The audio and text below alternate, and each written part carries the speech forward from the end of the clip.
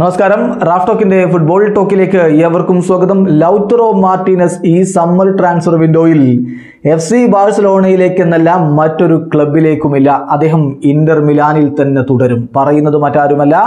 Inter മിലാന്റെ ഇതിഹാസമായ അവരുടെ vice പ്രസിഡന്റായ Argentine super താരമായിരുന്ന ഹാവിയർ ജനേട്ടിയാണ് സനേറ്റി വളരെ കൃത്യമായി പറയുന്നു ലൗട്ടറോ മാർട്ടിനസിന് വേണ്ടി പല ക്ലബ്ബുകളും രംഗത്തുണ്ട്.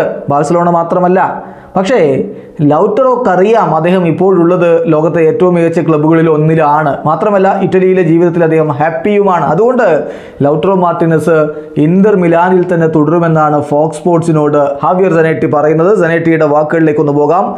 ലൗട്ടറോ ഇന്റർ മിലാൻ വിടുന്നില്ല.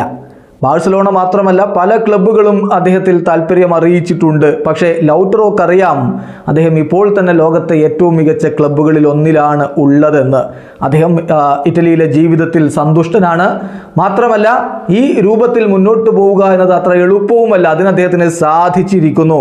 എനിക്കറിയാം അദ്ദേഹം ഇപ്പോൾ ശരിയായ വഴിയിലൂടെയാണ് മുന്നോട്ട് പോകുന്നത്.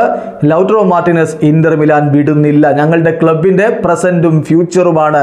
അദ്ദേഹം തീർച്ചയായിട്ടും എല്ലാ ക്ലബ്ബുകളും ഇക്കാര്യത്തിൽ പരസ്പരം ഒരു റെസ്പെക്റ്റ് പുലർത്തുമെന്നാണ് ഞാൻ പ്രതീക്ഷിക്കുന്നത്. താരങ്ങളുടെ റിലീസ് ക്ലോസ് സ്വാഭാവികമാണ്. ആ റിലീസ് ക്ലോസ് മീറ്റ് ചെയ്ത് മറ്റേതെങ്കിലും ക്ലബ്ബ് വരുമ്പോൾ നിങ്ങൾക്ക് അധികമൊന്നും ചെയ്യാനുണ്ടാവില്ല. പക്ഷെ ലൗട്രോയുടെ കാര്യത്തിൽ എനിക്ക് പറയാൻ കഴിയും. അദ്ദേഹം ഇന്റർ മിലാനിൽ സന്തുഷ്ടനാണ്. ഇവിടെ തന്നെ തുടരും. ഇതാണ് ഹാവിയർ ജനേട്ടി പറയുന്നത്. വളരെ കൃത്യമാണ് അദ്ദേഹത്തിന്റെ സന്ദേശം. അതായത് ബാഴ്സലോണക്ക് ഇത്തവണ ലൗട്രയെ കിട്ടാനുള്ള സാധ്യത വളരെ കുറവാണ്. വീഡിയോ സാധിക്കുന്നു ഫുട്ബോൾ ലോകത്തെ കൂടുതൽ വിശേഷങ്ങളുമായി റാഫ്റ്റോക്സ് വീണ്ടും എത്താം.